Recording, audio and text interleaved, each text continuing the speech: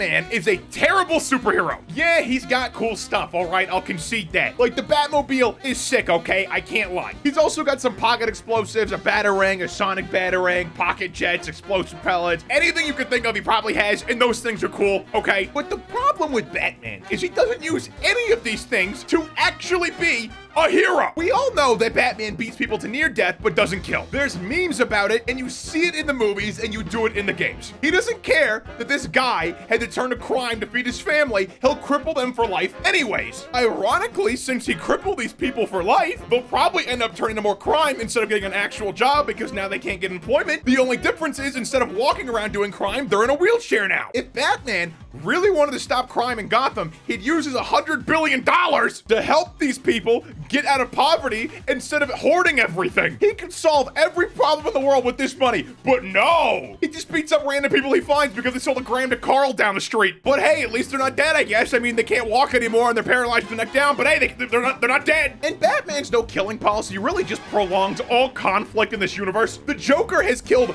thousands of people and he will continue to do so unless Batman can put him in jail or get rid of him, but he can't do either. So Batman literally just lets innocent people die because he doesn't want to kill the Joker. Also, if he just got rid of the Joker, less people would be recruited by him, which means there would be less criminals. It's two birds with one stone. He could stop most of the conflict in Gotham by getting rid of this one evil, insane maniac. But no, he has this stupid moral code that doesn't even make sense. He is quite literally prioritizing a criminal mastermind's life over innocent people. The only reason Batman still exists in this universe is because he is terrible at being a superhero. Yeah, Spider-Man doesn't kill people either, but he helps these people stop being evil. And that does lead to complications, but at least he does something. And also, Robin, he's just the lamest sidekick ever. Let me know down below which superhero you want to see next. Like and subscribe if you're new. Follow me on Twitter at spatnz1, link in the description as well, and have a great rest of your day.